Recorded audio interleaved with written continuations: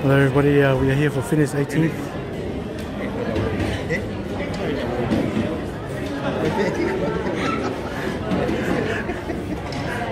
And we're about to uh, do proceedings and I believe we do the prayer on behalf of uh, the family. We've got Joey here, Amanda, the kids, Donnie, Benny and the kids, Benny and his army.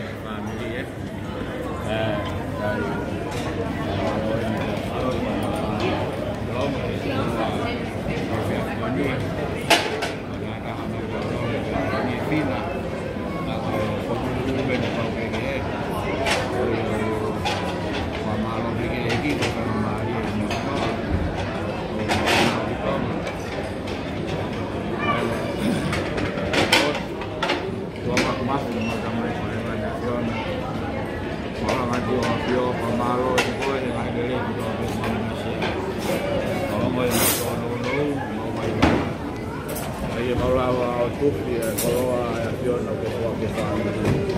moyeni ko yu ya fio ya bana na ko ni ko i ko ko na ko ko fin na ko si ya ko na na malu ko ni ko fio ni ta ko na na ko fin ba ka la ko wa ko ko ni ya ya maru ni ya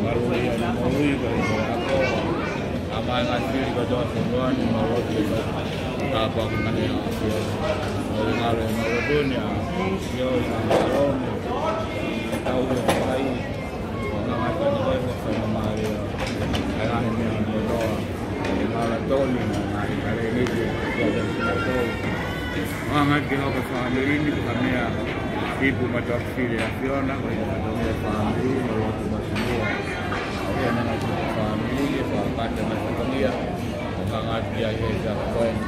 ngat ka ko ma lo ka ko ni ko to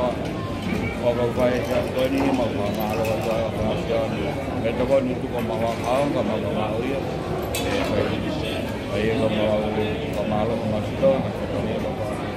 ai lo ko ja hai ma lo ni ko ko a ko ko la se me amen oh